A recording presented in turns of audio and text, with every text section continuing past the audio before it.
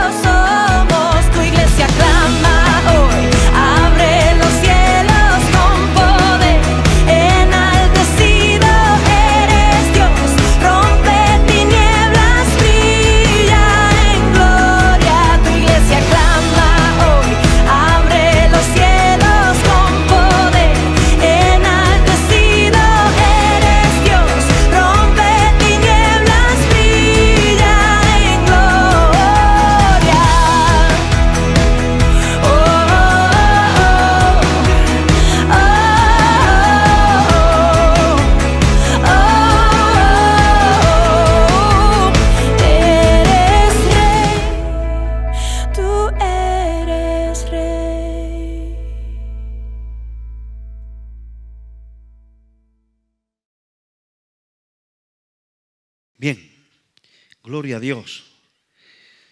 Vamos al mensaje de hoy. Se lo vamos a entregar al Señor, como siempre. Señor, este es momento para la exposición de tu palabra, Señor. Espíritu Santo, toma el control. Espíritu de Jesús, Espíritu del Señor. Tú eres el maestro. Realmente tú eres el maestro. Y tú quieres hablarle a la gente y nos usa a nosotros inmerecidamente, Señor, no siendo digno. Pero tú has querido que sea así, Señor. Por lo tanto, nosotros nos dejamos usar por ti, Señor. Que esta palabra, como siempre, va a llegar al corazón, al espíritu de las personas y va a hacer aquello para lo cual es enviado por ti, Padre. Cerramos todo este ambiente en tu nombre. Ya está cerrado todo, Señor. Los cielos están abiertos desde que se comenzó la reunión, porque donde hay dos o tres reunidos en tu nombre, ahí estás tú, Señor. Gracias por todo, en el nombre de Jesús. Amén y amén. Aleluya. Vamos al título de hoy de la palabra que dice así. ¿Quieres ser sano? ¿Quieres ser sano? Segunda parte. ¿Cuánto se acuerda del mensaje del domingo pasado? Amén. Si alguno no estuvo aquí y, quiere escuchar el mensaje completo, pues que, que busque en el Google. De hecho, eh, felicito a los hermanos de audiovisual que cada vez van más rápido y cada vez van más al día y con más calidad. Y le decimos a aquellos que no hayan eh, escuchado el mensaje del domingo pasado, pues que se metan en el Google, ¿vale? ¿Quiere ser sano? Y ahí aparecerá Apóstol Rafael Reyes, ¿quiere ser sano? Ahí aparece la primera parte de este mensaje. Y también se lo decimos a todos aquellos que nos escuchan o que nos ven desde cualquier parte del mundo. Amén. Que por medio de internet llegamos, iglesia, un aplauso al Señor. Llegamos a cualquier parte del mundo. ¿eh? Este mensaje que vas a oír hoy tiene una primera parte. Búscalo y te llevarás el mensaje completo. Y el título es ¿Quieres ser sano? Que no es una pregunta tonta, porque Jesús no hace preguntas tontas, pero eh, entre comillas, podemos decir que parece una pregunta tonta que Jesús le hizo a una persona que llevaba 38 años postrado en un lecho. Imagínense, no sabemos la enfermedad que tenía este hombre, pero 38 años en una camilla. En el contexto de hace 2000 años. ¿Vale? Y, se le ocurre al Señor preguntarle, a ver, tú, ¿quieres ser sano? Parece, parece una pregunta tonta, ¿eh? pero no lo es, porque hay gente que no quieren ser sanos, por extraño que nos parezcan. Y estuvimos diciendo que, vamos a hablar y que estuvimos hablando, y hoy es la segunda parte, sobre la sanidad del alma. El Señor está interesado en que sus hijos estén sanos interiormente, en que sus hijos eh, estén sanos del alma, estén sanos de su corazón. Y estuvimos viendo ciertas heridas y ciertas enfermedades del alma, el origen, las consecuencias y cómo sanar de esas heridas. Y en este domingo vamos a hablar de como mínimo otras tres clases de heridas, para que si usted se identifica con alguna de ellas, usted pueda recibir sanidad. Y vamos a hablar de algunas enfermedades en el alma y de cómo se originan estas enfermedades y cómo podemos ser sana y ser sano de ellas. Amén. Entonces, vamos a hablar de las heridas en el alma, dos heridas de un personaje bíblico de una parábola. El personaje es el hijo mayor de la parábola del hijo pródigo. ¿Cuántos han oído hablar alguna vez de la parábola del hijo pródigo? Amén. Sabemos que es una parábola que el Señor nos dio de un padre que tenía dos hijos y que el hijo más joven decidió irse del hogar y dice que vivió perdidamente en una lejana provincia, que vino arrepentido y demás y, el padre decidió hacer una fiesta en honor de su hijo que había muerto y era, había resucitado, hablando metafóricamente, y que se había extraviado y había sido hallado. ¿Vale? Se ha predicado muchísimo sobre el hijo pródigo, pero en esta tarde yo quiero hablarle un poco del hermano mayor. Y es un claro ejemplo de una persona que tiene herida el alma y que ha permitido que su alma se enferme. Vamos a leerlo en Lucas 15, 25 al 32. Dice así. Su hijo mayor estaba en el campo y cuando vino, llegó cerca de la casa y oyó la música y las danzas. Y llamando a uno de los criados, le preguntó qué era aquello. Y le dijo, tu hermano ha venido y tu padre ha hecho patar el becerro gordo por haberle recibido bueno y sano. Entonces se enojó y no quería entrar. Salió por tanto su padre y le rogaba que entrase. Mas él respondiendo dijo al padre, he aquí tantos años te sirvo, no habiéndote desobedecido jamás, y nunca me has dado un cabrito para gozarme con mis amigos. Pero cuando vino este tu hijo, que ha consumido tus bienes con ramera, has hecho matar para él el becerro gordo. Él entonces dijo, hijo, tú siempre estás conmigo y todas mis cosas son tuyas. Mas era necesario hacer fiesta y regocijarnos, porque este tu hermano era muerto y ha revivido, se había perdido y es hallado. Este es el claro ejemplo de un alma enferma, un alma que por la circunstancia había caído enferma. Y la primera enfermedad que yo veo en este hombre es el legalismo. Este hombre estaba enfermo de legalismo. es una enfermedad espiritual que eh, puede estar en el alma de una persona. ¿Qué es el legalismo? El legalismo es una actitud incorrecta en el corazón frente a otras personas que han hecho o hacen algo que no está bien. El legalismo, el ismo en el mundo espiritual es igual que el itis en el mundo natural. ¿Qué es la otitis? Es una inflamación en el oído. ¿Qué es la apendicitis? Es una inflamación en el apéndice, un problema.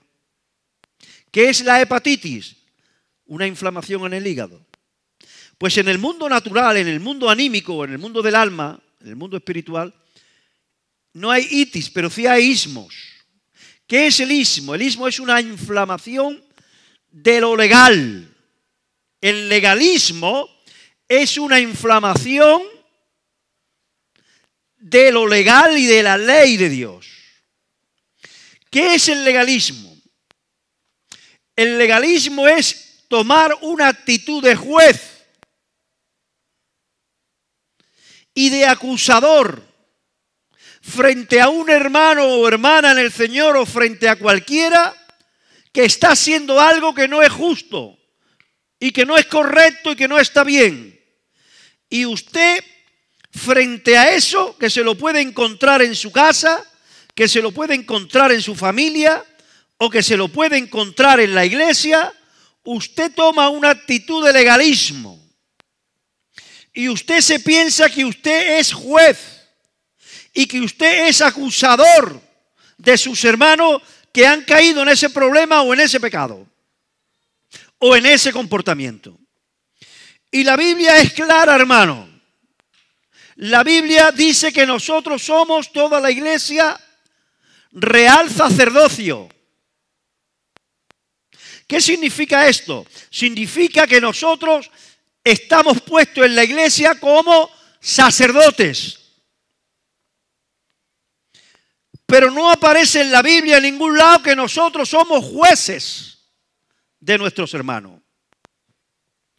Nosotros no estamos puestos para juzgar a nadie. Y mucho menos para acusar a nadie. Y este muchacho se convirtió en el juez de su hermano. Y se convirtió en el acusador de su hermano. Y por eso es que cayó en una enfermedad anímica del alma que significa legalismo. Porque Dios no nos ha llamado a ser jueces de nadie. Sí nos ha llamado a ser sacerdotes. Diga conmigo, yo soy sacerdote, pero no juez. Ahora, ¿qué diferencia hay entre un juez y un sacerdote? El juez ve el comportamiento inadecuado y el pecado de la gente y juzga y condena y acusa. El sacerdote ve el pecado y el comportamiento de la gente y levanta sus manos e intercede, clama, ruega a Dios por perdón, restauración, liberación, sanidad de las personas. El sacerdote intercede, mientras que el juez condena y acusa. Los dos ven el pecado, los dos ven el comportamiento. A los dos les duele el pecado, a los dos les duele el comportamiento de una persona pecaminosa. Pero el juez acusa y condena y el sacerdote intercede. Aleluya. Y la Biblia dice que nosotros somos real sacerdocio. El juez busca agravantes. El sacerdote busca atenuante. Por eso Jesús en la cruz del Calvario, cuando está muriendo, no se levanta como juez. Cuando Él clama y dice, Padre, Padre, y va a hablar de lo que aquella turba estaban haciendo con Él. Él hace un acto sacerdotal y dice, Dios mío, Dios mío, no les tomen en cuenta este pecado, porque no saben lo que hacen. Jesús sacerdote busca un atenuante, porque el sacerdote intercede, ruega y clama para liberación y perdón. El dedo sacerdotal acusa y condena el pecado, pero para restaurar al pecador. Pero el dedo del juez acusa y condena al pecado y acusa y condena al pecador. Usted no es juez para acusar ni condenar a nadie. Usted puede juzgar y condenar el pecado, pero usted debe interceder por los pecadores. Porque usted es el cuerpo de Cristo y Jesús no vino a condenar y a acusar a los pecadores, sino a llamarlo al arrepentimiento, a la restauración y a la salvación. Aleluya. Jesús es el gran sumo sacerdote. Y este hombre había caído en un legalismo que enfermó su alma. Y las iglesias, las iglesias, no estoy hablando de esta, pero esta es como otra, como cualquier otra iglesia, están llenas de gente que por causa del legalismo han caído en una actitud enfermiza del alma. ¿Cómo podemos identificar esta enfermedad? Fíjense que este hombre, cuando venía del campo, porque este hombre estaba resentido. ¿Cómo llegó a esta enfermedad del alma? Este hombre estaba resentido por el comportamiento de su hermano. Llevaba meses, quizás años resentido. Y hay gente que se resienten, no saben reaccionar espiritualmente frente a los problemas, el comportamiento o aún los pecados y la falta de los demás. Y se levantan en una actitud de juicio y de condena. Y este hombre llevaba así resentido tiempo, meses, años quizás. Y cuando este hombre viene del campo y oye las danzas, ¿qué hace? Hemos leído. ¿Qué hace? Llama a un criado y le dice, ¿qué, es aquello? ¿Qué podemos ver aquí? Este hombre estaba sospechando algo.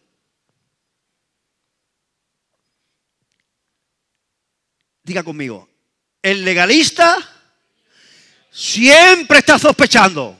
Lo hemos puesto en un proceso de restauración, hemos volcado nuestra misericordia sobre él o sobre ella y ha sido restaurada. Un tiempo después, otra persona ha caído en algo parecido a lo que él cayó. Y me lo he encontrado así de veces donde esa persona se enoja y se enfada por el trato misericordioso que le hemos hecho a otras personas. Porque el legalista siempre se enoja la Biblia dice que se enojó por el trato que su padre le hizo a su hermano. Se enojó mucho y no quería entrar. Porque la persona legalista es legalista para todo el mundo, menos para una persona. ¿Para quién? Para él mismo. Yo no he encontrado todavía una sola persona legalista que sea legalista para él. El legalista es legalista para los demás, pero quiere misericordia para él. Y el legalismo, hermano, enferma el alma.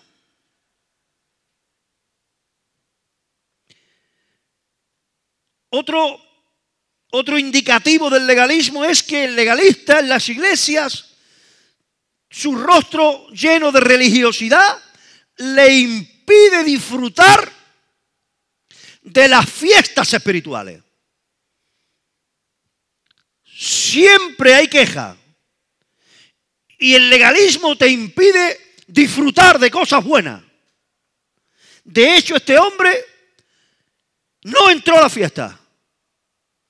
El legalismo te roba el disfrutar de las cosas buenas y las fiestas que Dios por su gracia nos da. Porque el legalista siempre piensa que hay que hacer algo más. El espíritu religioso es un espíritu de acusación, de condenación. Y no disfruta de la misericordia y de la compasión de Dios. Y no se alegra del trato compasivo y misericordioso de Dios para los demás. Ahora, fíjense qué consejo nos da Gálatas 6.1. Adelante. ¿Cómo se debe para que a partir de hoy usted enfrente los problemas de los demás, cuando usted quiera corregir algo, si a usted realmente le duele el comportamiento inadecuado y pecaminoso de alguien, si su, si su dolor es espiritual y no carnal, el Señor en su palabra nos dice cómo debemos de, de reaccionar. Hermanos, si alguno fuere sorprendido en alguna falta, vosotros que sois espirituales, número uno, solamente los espirituales están libres del legalismo. ¿Qué es una persona espiritual? Una persona espiritual es aquella que reacciona según el espíritu y no según su carne. Es muy importante tener una actitud espiritual. Porque cuando usted toma una actitud espiritual, que es una actitud bajo la influencia y bajo la dirección del Espíritu Santo, usted va a atajar ese problema, usted va a atajar ese pecado, usted va a atajar ese comportamiento que ve en el otro de una manera alineada con lo que el cielo quiere. Y dice que las personas espirituales atajan ese problema para restaurar. El legalista no quiere restaurar. El legalista quiere masacar, quiere condenar y quiere acusar. Pero el espiritual le duele el pecado igual que al legalista o más. Pero él actúa con una mente y un corazón para ver si hay alguna posibilidad de restauración. El dedo espiritual de Dios señala el pecado siempre para restaurar. Dios no señala a ninguno de sus hijos para acusar y condenar y lanzarlo fuera. Siempre Él señala el pecado con la única meta de restaurar. Y el espiritual va con una intención de restauración. Número uno. Número dos, va siempre con un espíritu de mansedumbre. Siempre va con un espíritu de mansedumbre. Y número tres, esto es muy importante. Yo te estoy dando esto para que no te enfermes del alma. Porque hay mucha gente que cuando ven un hermano que cometen algo feo en la iglesia, ni van espiritualmente, ni van con mansedumbre, ni van para restaurarlo. Y lo peor de todo, caen en un problema. Fíjense que esta enfermedad del alma lo que produce. Dice que considerándote a ti mismo. ¿Qué significa eso? Que si yo, que soy el apóstol de la iglesia, y veo al pastor Tony que hace algo indebido, o aún que cae en pecado, que nunca lo ha hecho, yo tengo que tener cuidado y atajar ese problema considerándome a mí mismo. ¿Qué significa eso? Que yo me tengo que meter en la piel de él y decir, a ver, me voy a imaginar que lo que ha hecho él lo he hecho yo.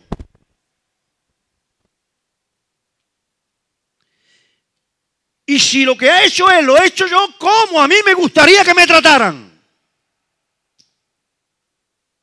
Eso hace un sacerdote.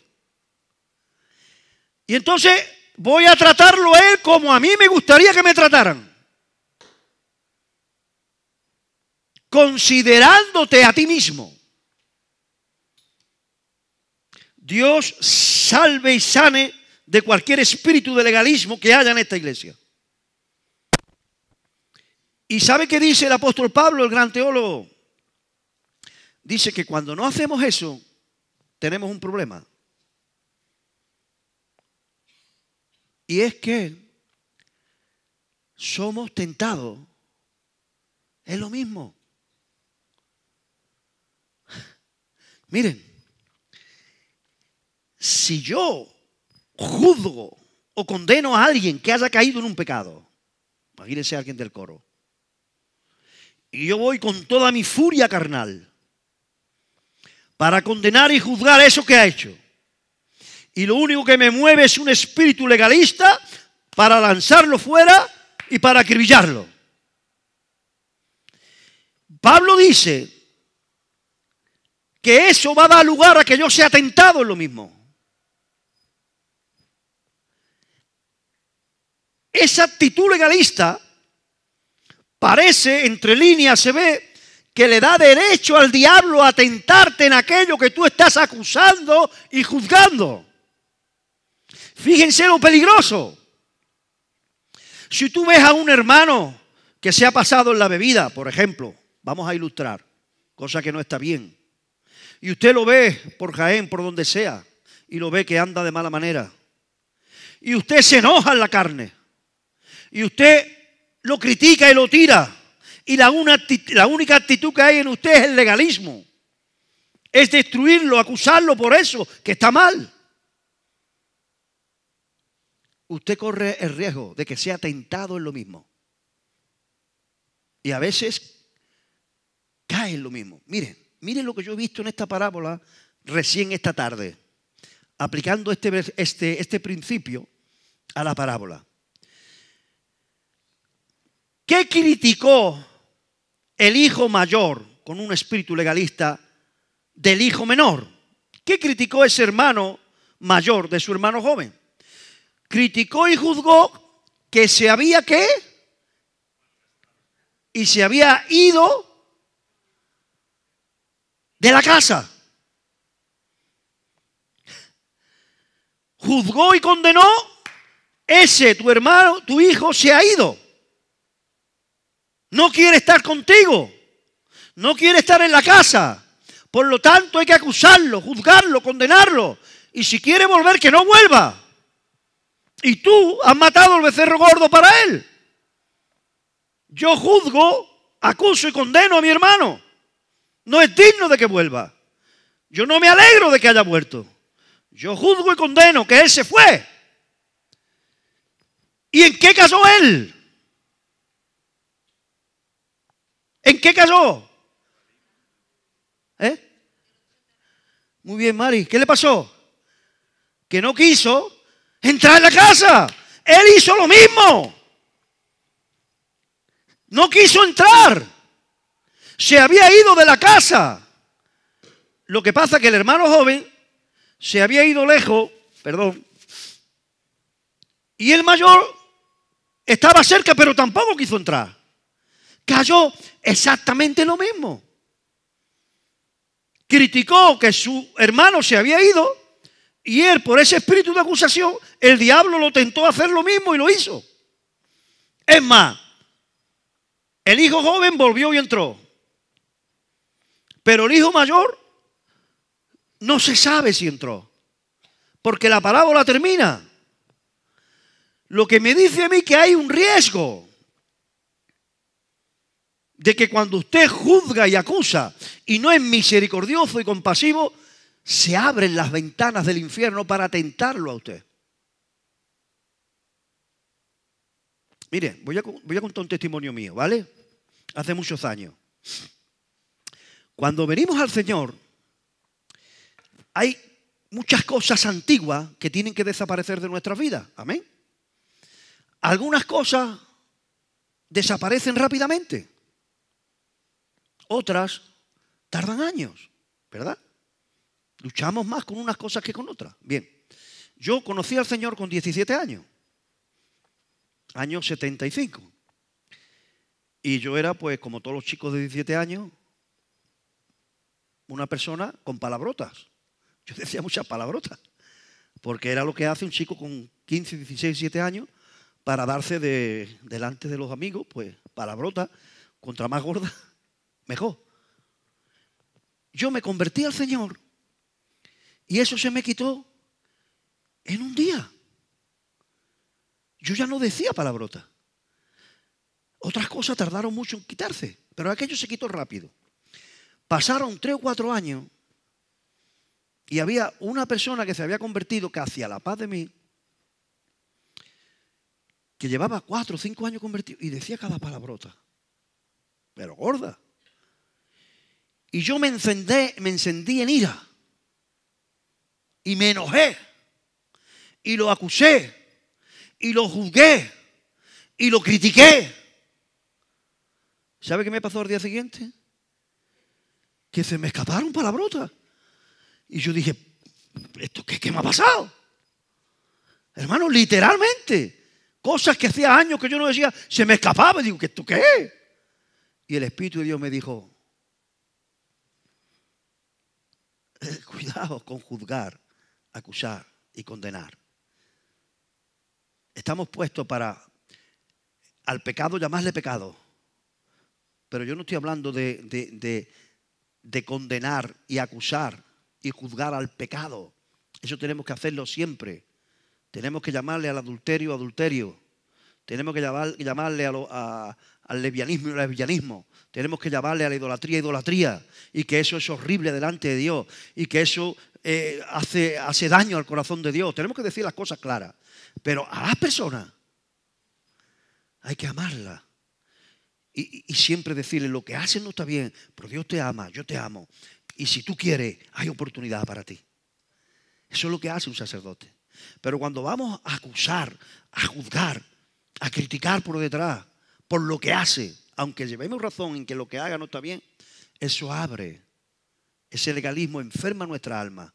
Y para colmo, abre las ventanas del infierno para que usted sea eh, tentado en lo mismo. Amén. Cuidado con el legalismo. Ahora, ¿por qué, segunda razón de por qué este hombre estaba enfermo del alma? La segunda razón es porque este hombre estaba resentido por dos cosas. Una, por lo que su hijo hacía, su, perdón, lo que su hermano joven eh, hizo y hacía. Y la otra cosa es porque no entendía, escúchenme, que, esto también enferma a mucha gente en la iglesia, porque no entendió, ¿qué es lo que no entendió?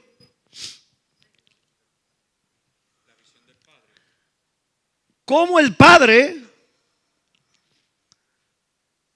atajó eso. Se resi- lleva mucho tiempo resentido con el hermano y para colmo, ahora mi padre atiende este problema y yo no lo entiendo. Porque, ¿cómo lo va a entender?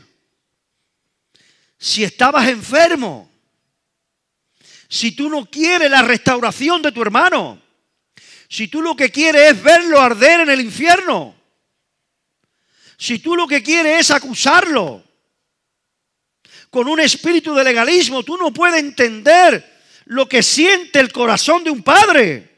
Tú no puedes entender lo que siente un espíritu lleno de santidad de Dios y sabe lo que vale un alma para Dios.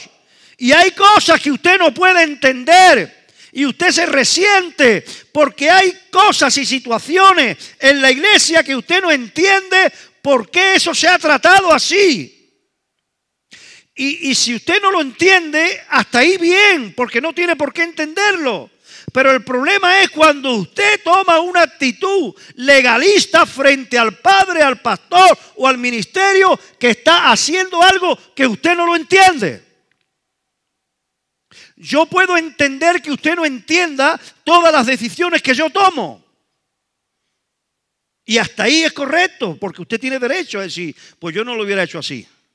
Pero el problema es cuando usted frente a eso toma una actitud legalista y condena y juzga no solo al hermano, sino al padre por lo que está haciendo. No entro a casa, no quiero nada con la fiesta, no quiero nada contigo, no quiero nada con la alegría, no quiero nada con la danza. Y el padre sale a hablar con él y le dice, pero ¿por qué? ¿Por qué? Y ahí, ahí sacó toda la enfermedad que llevaba. Porque tú nunca me has dado nada. Porque tú no me has dado a mí ni, ni ni un cabrito, ni una cabrita, ni una ovejita para que me goce con mis amigos. Porque yo, fíjense el legalista, porque yo no te he desobedecido jamás. Madre mía, qué tío, ¿no? Perfecto, ¿no? Ni una vez, hijo mío. Todo lo ha hecho bien. Y ha venido este, tu, tu hijo, porque a mí no me toca nada, que ha desperdiciado tus bienes con prostitutas, con rameras. Y si usted se mira la parábola, la Biblia no dice que este joven se fue con ramera. Pero es que el legalista es así. El legalista, una cosa así, la pone así. Y, añade con palabras suavitas, como decimos en Cádiz, con palabritas menúas. No entro, porque se ha gastado tu dinero con ramera. Este hombre sabía mucho de ramera, ¿eh? Digo yo, ¿por qué? ¿Por qué? Y lo dejo ahí. Porque sabía que sabía de tu hermano con ramera, si tu hermano no lo ha dicho. Y la Biblia dice que se fue a vivir perdidamente. Él se imaginó que había estado con ramera. ¿Y por qué se lo imaginó? Tenía una mente muy... Y hasta ahí de- dejo.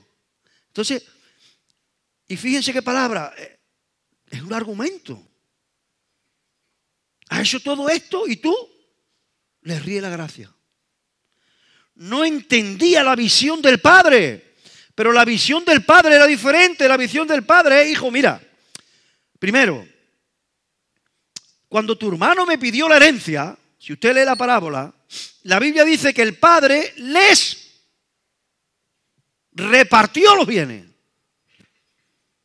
O sea, el Padre les repartió los bienes y en aquella época había una ley que la herencia se dividía no entre el número de hijos, sino se dividía entre el número de hijos y una parte más. Por ejemplo, si yo tenía cuatro hijos, dividía mi herencia en cinco partes. Si tenía tres hijos, dividía mi herencia en cuatro partes. Si tenía dos hijos, es el caso, dividía mi herencia en tres partes. ¿Por qué una parte más? Porque el primogénito se llevaba dos partes. Entonces este hombre dividió y su herencia en tres partes. Dos partes se la llevó el legalista, el hijo mayor, y una parte se llevó el hijo joven. O sea, que yo te he dado a ti el doble que a él. Pero tu legalismo ha hecho que no lo disfrutes. Todo lo mío es tuyo.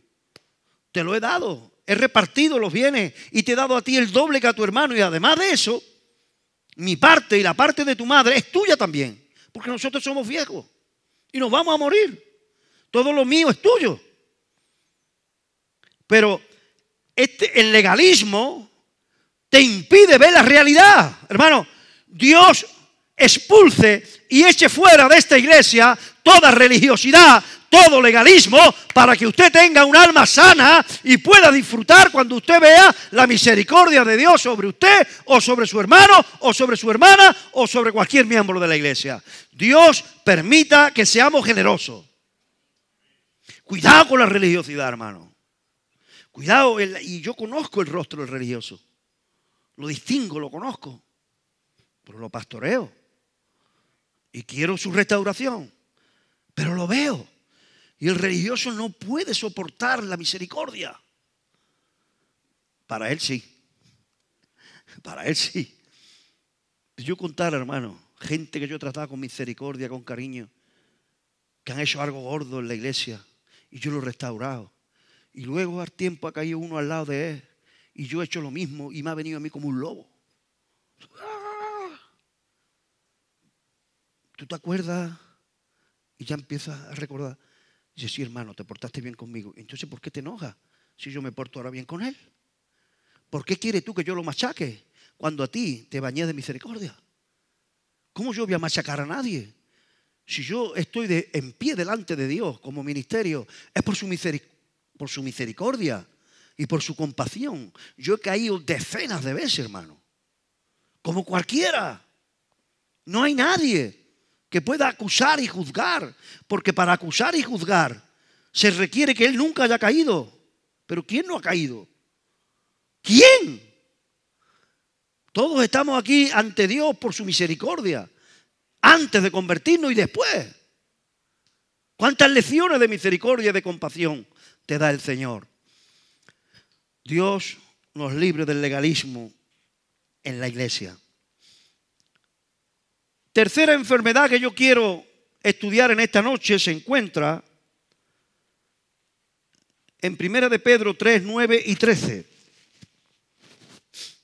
Y es cuando estamos enfermos del alma porque hemos sido maltratados. Este es otro motivo. Y mira, esto es para escribir un libro, ¿vale? La de motivos que hay por la cual una persona puede estar enferma del alma. Y ahora quiero estudiar un poquito sobre usted cuando ha sido maltratado. Si usted no sabe hacer lo que corresponde bíblicamente, usted va a caer enfermo. Cuando alguien le maltrata en su familia, en el mundo, por ejemplo en su trabajo, o sus vecinos del barrio, o peor aún, en la iglesia. Cuando usted lo maltratan verbalmente o físicamente, que son las menos, pero también, pero verbalmente sí, o con algún gesto. ¿Cuántos de aquí han dicho alguna vez, fulanito me hizo tanto daño? ¿Cuántos han dicho esto alguna vez? Es que me hizo tanto daño. ¿Quiere que le diga algo? Que, que usted va a así y en su mente va a decir, ¿esto qué dice? Pues yo se lo voy a demostrar. ¿Sabe que esa persona no le hizo daño? ¿Que esa persona lo que le hizo fue un mal? Y yo se lo voy a explicar. La gente te pueden hacer mal. Pero de que ese mal se convierta en un daño, eso usted puede evitarlo. Escuche esto que es muy interesante. Y hay una psicóloga aquí que está abriendo los ojos, porque eso es muy interesante. Usted sabe que yo he descubierto en la palabra de Dios que yo no puedo evitar que una persona me haga un mal. No lo puedo evitar. Rafa nunca me ha hecho un mal, pero yo no puedo evitar que mañana o pasado se le crucen los cables, o Tony o, Pili, y se vaya a otra iglesia y me ponga verde, me ponga como los trapos. Yo eso no lo puedo evitar. No va a pasar, dice Pili, pero bueno, a mí me ha pasado así de veces. yo eso no lo puedo evitar. ¿Cómo lo voy a evitar? De hecho, está pasando ahora, hay gente en otra iglesia que me ponen verde. Yo eso no lo puedo evitar. Ahora, Dios me ha enseñado, hermano, esto, es para la salud de su alma, que yo sí tengo poder para evitar que ese mal que a ti te han hecho se convierta en un daño. Porque la Biblia hace una diferencia, usted no. Usted cuando a alguien le hace un mal, dice, imagínese, familiar, un amigo, un pastor que se ha equivocado, cualquiera, una vecina, un, matrimonio amigo, dos matrimonios amigos, cualquier, un hermano, un hermano en la carne. Es que mi hermano me hizo un daño hace seis meses. Él no se imagina el daño que me hizo. Pues no, él te hizo un mal. Pero la Biblia hace una diferencia entre el mal y el daño. Yo le voy a dar a usted una llave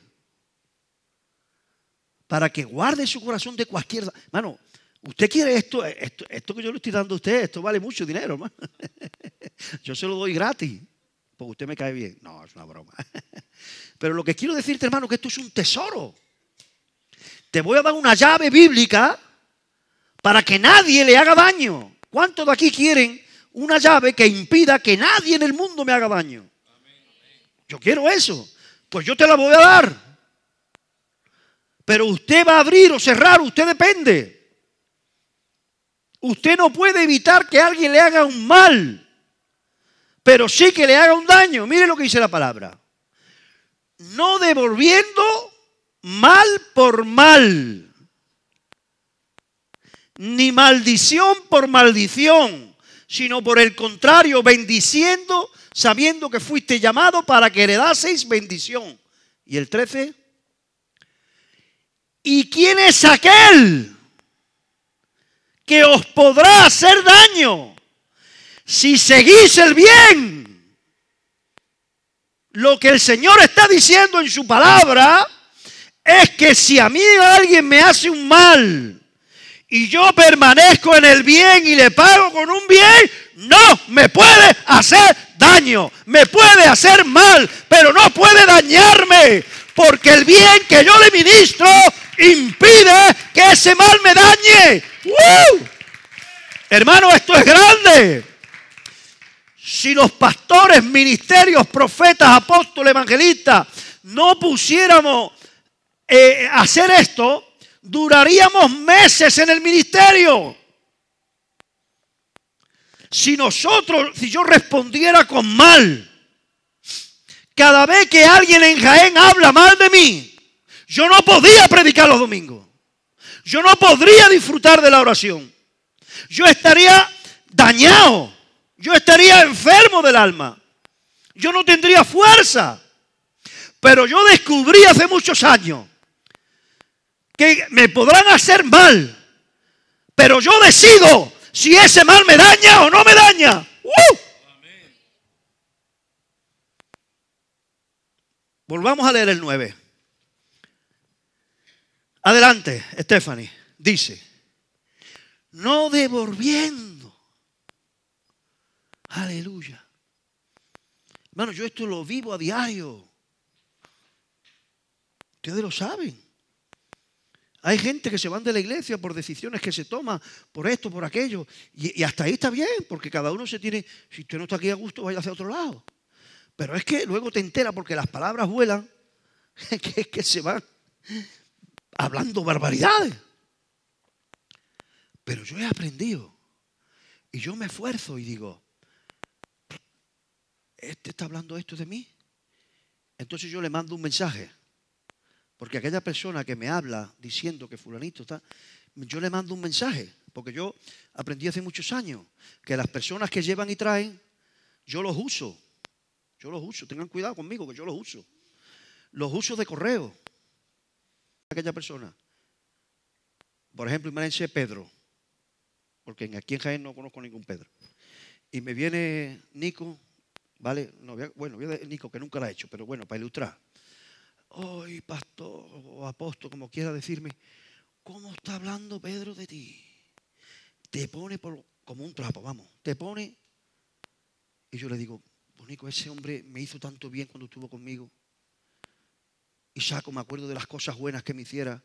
Digo, fue una bendición. Yo no sé qué le pasa, pero a mí me cae tan bien. Y, y el país se lo dice. Y cuando yo digo eso me siento con una paz. Yo voy a hablarle más a Nico de Pedro porque Pedro le ha hablado a Nico más. No. Porque si yo le hablo mal a Nico de Pedro, porque Pedro le ha hablado mal a Nico de mí, yo estoy pagando mal por mal. Y entonces ese mal me daña. Hermano, esto es una fórmula. Por eso la Biblia no es un libro para aprenderlo de memoria. La Biblia es un libro para practicarlo. Practique esto, hermano. Es verdad, y va a dormir usted como un tronco. Por eso Señor, mire, ¿usted cree que el Señor nos dijo, ¿usted cree que el Señor es masoquista? Cuando dijo, bendecía a los que os maldigan. Y uno con una mente carnal dice, el Señor mazoquista. Ahora, Pedro me pone como los trapos y ahora te lo tengo que bendecir. Eso es mazoquismo. Disfrutar con el dolor ajeno o sadismo, que es disfrutar con el dolor de uno mismo. El Señor no es mazoquista, ni sadista, ni sadomazoquista, no. El Señor lo que quería era protegernos. Aleluya. El Señor nos dio, yo os voy a proteger Porque él sabe, hermano, el diablo manda maldiciones. La gente se cree que una maldición es, así te vean, muera co- como la muerte del loro. ¿Sabe cómo murió el loro? Estornudó y se clavó el, pico en el pecho. y la gente muera. co- No, eso no son, son maldiciones. Pero hay otras maldiciones que hablar mal. Hermano, y el diablo usa eso para parar a un hombre o una mujer. Cuando un hombre o una mujer fluye, el diablo va a lanzarle una lluvia de maldiciones para que ese hombre responda con maldiciones.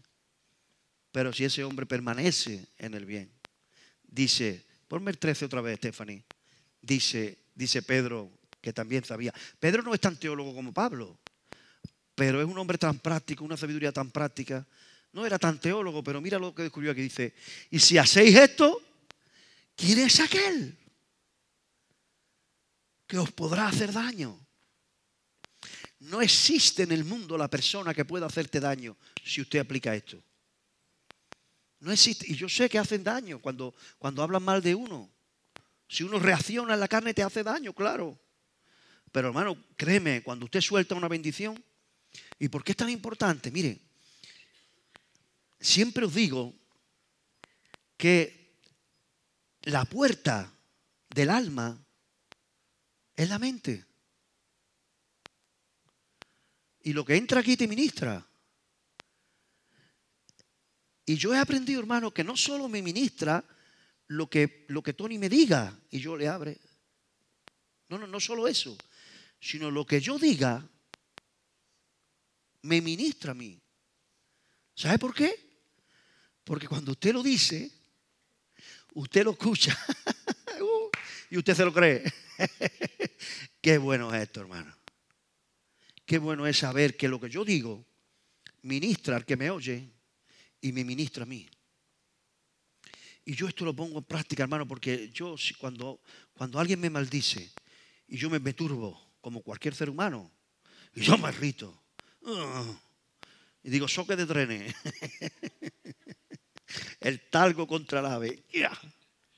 Pero digo, no, quieto, vamos a poner en práctica la sabiduría de Dios. Y yo lo bendigo. Hermano, te entra un relajo. Es que te ministra, Rafa. Y te entra una gana de tranquilito en la cama, dormir, hartarte, dormir tranquilo. Duerme como un tronco. Miren, vamos al otro texto, Stephanie. Miren lo que dicen. Pero yo os digo, aleluya, ¿ves? Si lo tomamos en la carne, otra vez vuelve doctrinas masoquistas de Jesús. Pero no era masoquismo, era protección. Yo os digo, amad. Escuche esto. Amad a vuestros enemigos. Y cuando uno lee esto se piensa que está hablando de enemigos. Uy, unos enemigos. No, no, no, no, no, no. Un enemigo de usted es cualquier persona que venga con una actitud de enemistad contra usted. Cualquier hermano en la iglesia que esté cerca de usted y que venga con una actitud de enemistad es su enemigo. Porque enemigo es lo contrario de amigo.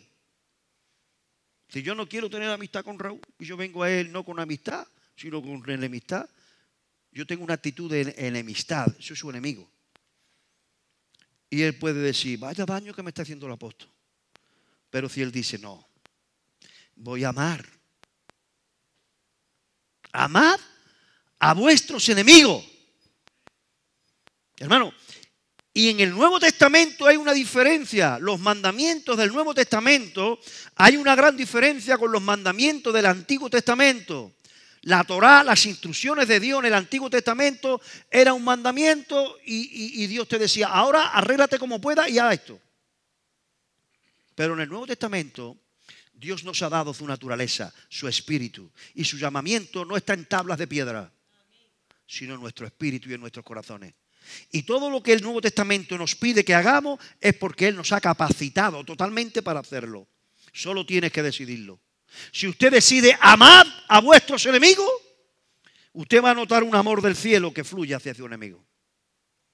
Y ese enemigo no podrá hacerle daño jamás. Mal sí, pero no daño. Número uno. Número dos, bendecid. Practique esto. Bendecid a los que os maldicen. Yo entendí, hermano, que la maldición es un río de aguas negras que son lanzadas hacia nosotros. O de fango del infierno. Hermano, las maldiciones es un barro, es un fango. Si yo comienzo a hablar más de Pili, yo estoy lanzando un río de fango sobre ella. Y ella no puede evitar que yo hable mal de ella si yo quiero.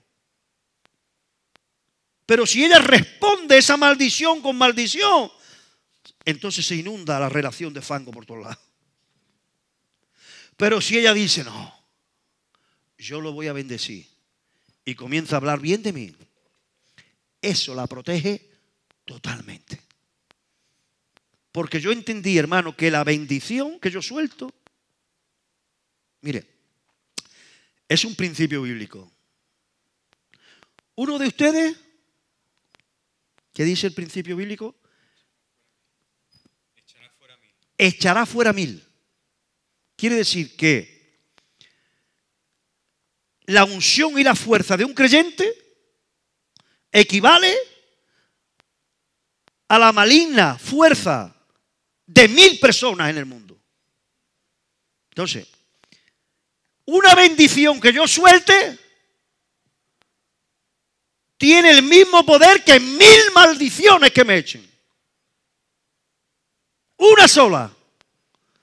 Si he hecho dos bendiciones, y si he hecho tres, y si he hecho cuatro, eso tiene una proyección. Entonces, el fango que a mí me lancen, si yo respondo con maldición, me llega, me inunda y ya no puedo ni nadar en ese fango. Se pone todo feísimo. Pero si yo digo, no, no, no, no. Y tenga cuidado con el que viene, ¿eh? Uf. Tenga cuidado con, el que, con la que venga a mí y me diga, pastor, perdona Pili, te voy a poner por ejemplo. No vea cómo te está poniendo Pili, te está poniendo como los trapos. Pero no le diga que yo te he dicho nada. En el momento que le digan eso, no se fíe. Porque no quiere ser un testigo para arreglar nada. Pero yo a esa persona le digo, uy, pues no sé, porque a mí me cae tan bien Pile. Y yo siento tanta bendición. Y ese fango desaparece, hermano. La persona sí se va a enfangar, pero yo no. Bendecir a los que os maldicen. Esto es un una fórmula para protección. Lo que el Señor quiso fue protegernos. Y es más, dice, póngalo a prueba. Haced bien a los que os aborrecen. Hermano, a mí me gusta hacerlo. Yo reacciono primero como todo el mundo, digo, digo, quieto, quieto, quieto, quieto, Rafa, quieto, quieto. No, no suelte ninguna maldición, no hable más de aquel pastor que yo sé que ha hablado más de ti. Y yo sé que ha hablado mal de mí y ha lanzado mensajes. Y como no sé qué pasa, que las palabras vuelan, Rafa, que todo el mundo se entera de todo. ¿eh? Te voy a decir una cosa. Pues no le digan a nadie. Y él dice, no, no le digan a nadie. Me voy y le dice, Rafa, te voy a decir una cosa, te dice a ti. No le digan a nadie. Y él dice, no, no le digan a nadie. Y cuando va para allá se lo dice, Mari, te no le digan a nadie. No, no le digan a nadie. Se entera toda la iglesia. ¿Vale? Toda la iglesia se entera. Y cuando él llega a mí, y yo veo que me aborrece, yo comienzo a amarlo, le mando una notita con la persona intermediaria, sin que se dé cuenta la persona. Ya a partir de hoy, cuando yo te diga que me está, es que te estoy mandando una notita. Y bendigo a esa persona y comienzo a sentirme bien. Y cuando llego a mi casa digo, Señor, concédeme que pueda hacerle algún bien. Prepara una circunstancia. Como Él no sabe que yo lo sé, me va a hacer muy fácil. Y le hago un bien. Ay, cómo desaparece todo, hermano. Cómo duermo esta noche. y por eso puedo orar. Por eso puedo preparar mensajes, por eso puedo ministrar, por eso puedo aguantar, porque usted no se imagina las presiones que aguanta un hombre o una mujer de Dios que tiene que tomar decisiones diarias, continuas, que afectan a personas y que a veces no se entiende. Y a veces hasta me he podido equivocar, ¿por qué no? Sí, somos humanos. Pero si, si respondiéramos mal con mal, hágame caso. Bendígalo, ámelo y pídale a Dios. Créeme, si yo pudiera hacer que ustedes aplicaran este principio, hermano, tendría yo una iglesia sana, con gente sana. Hágalo, hermano, ¿cómo sale el diablo? Derrotado. Yo lo aprendí hace muchísimos años de una hermana, con un genio. Se le veía, pero no, no lo practicaba, pero tenía un genio, un carácter, una mujer mayor. Y me decía, éramos amiga, muy amiga nuestra. Y nos decía la idea a mí, yo es que yo misma me, digo, voy a morir, voy a morir. Y cuando yo me entero de alguien que está haciendo algo malo de mí, digo, pienso, digo, ¿qué puedo hacerle bien? ¿Qué puedo hacerle bien? Y Dios me da la oportunidad.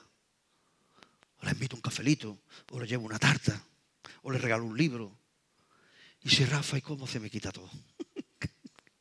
Hágalo. Hágalo que no se va a arrepentir. Dice, y orar.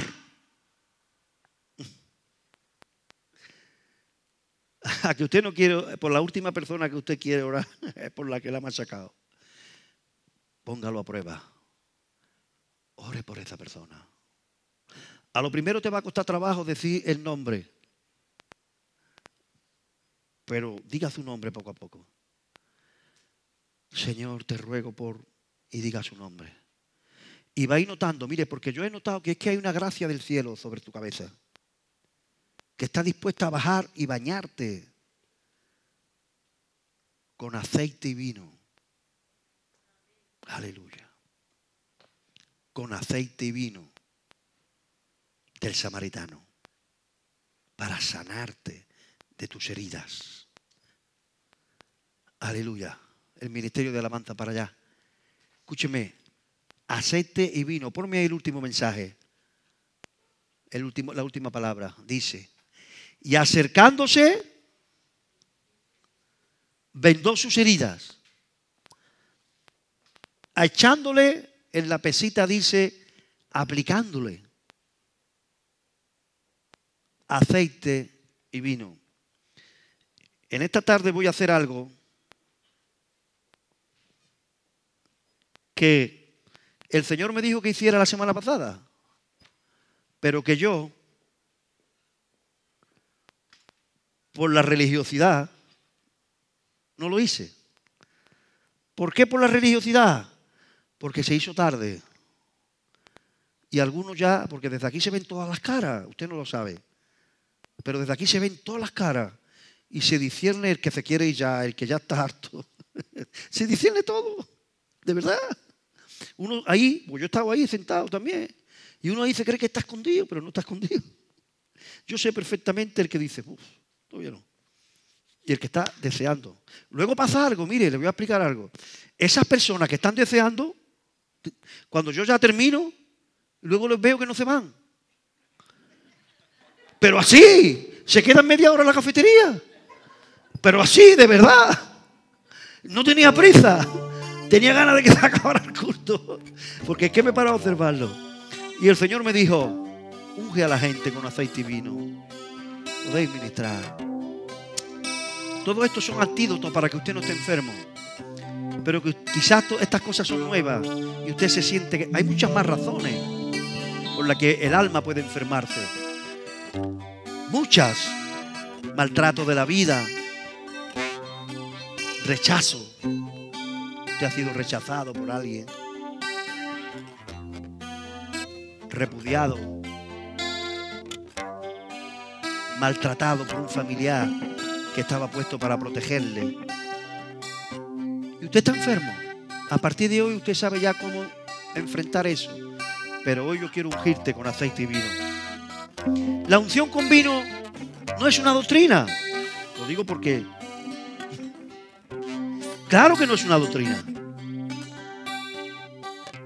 Pero ¿qué quiere usted? ¿Que le unja con vino? ¿O que escupa en el fuego y haga lodo por la tierra? que eso sí es bíblico.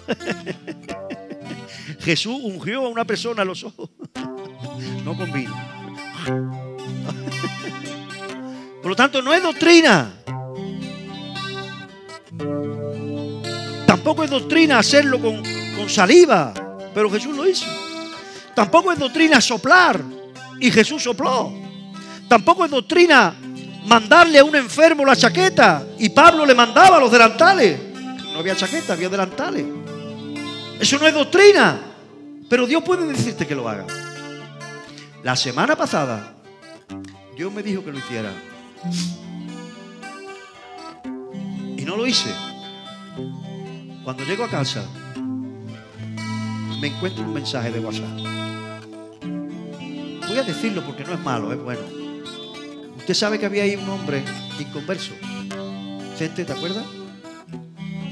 Que estaba con su, con su esposa de Torredón Jimeno. Julio, marido de Carmen, inconverso. ¿Vale? Fíjense cómo Dios me habló. El Espíritu me decía que, que ungiera a los que quisieran con aceite y vino. Porque las enfermedades del alma producen anguejo espiritual. ¿Sabes lo que es el anguejo? Amargura. Y el vino espiritual sana la amargura. Y el aceite espiritual suaviza las heridas. Y yo no lo hice porque eran las nueve y media. Y era tarde y algunas caras ya me estaban diciendo, termina. Y yo por religiosidad digo, bueno, ya termina. Pero cuando llego a casa me manda un WhatsApp, Carmen, apóstol, qué alegría. La predicación ha sido muy larga, pero a mi marido le gustó. Ese hombre tiene un problema en las manos, ¿vale? Que es, no es muy, pero tiene un problemita.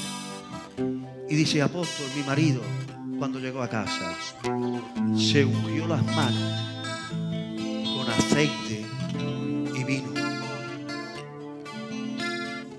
Un inconverso. Señor, perdóname por la religiosidad. Era hora de acabar el culto según decía nuestra religión. Llevábamos dos horas y media. Pero el Espíritu me dijo, la religión te decía que terminara, pero yo te decía que ministrara. Mira, ve, un inconverso. Me decía ella, hermano, se ha ungido él solo las manos con aceite y vino. ¿Quién le enseñó eso? Se está convirtiendo, gloria a Dios. Es amigo mío, ojalá se convirtiera de verdad. Entonces, hermano, pónganse de pie. Vino celestial Algo está cayendo aquí. y aceite celestial. Unjo con vino, símbolo de alegría. Disfruta del vino celestial. Te revisto de vino celestial. Tu espíritu vente. Vino sobre ti, vino. Alegría de Dios. Alegría del cielo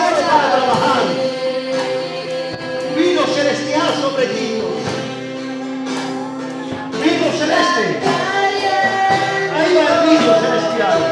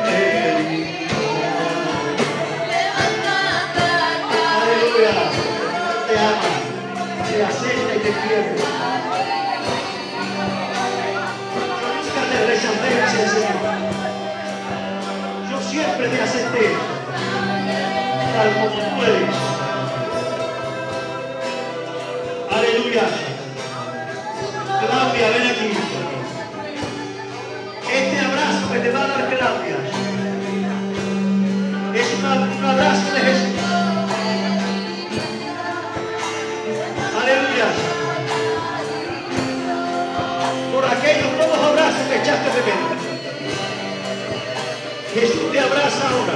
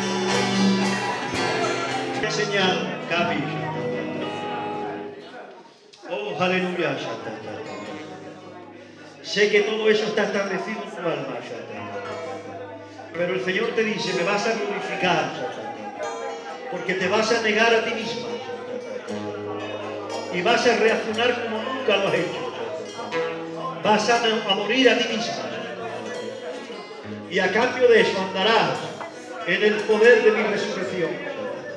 La vida de resurrección de Jesús te he escogido